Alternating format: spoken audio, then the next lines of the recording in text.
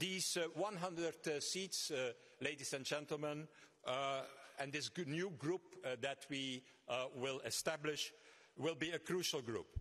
because for the first time in 40 years, uh, since the first elections in 1979 of the European Parliament, the two classical parties, Socialists and uh, uh, Conservatives, will no longer have a majority. And that means that no solid, I underline solid, pro-European majority is possible without the help, without the participation of our new centrist group, that will be composed by the ALDE family, by Renaissance and other reform-driven, like-minded parties.